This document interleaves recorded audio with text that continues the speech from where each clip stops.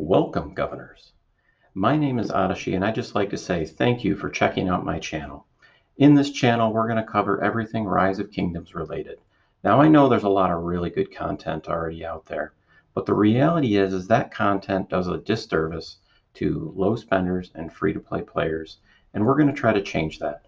So we're going to make videos for low spenders, and free-to-play players, from the perspective of those same players.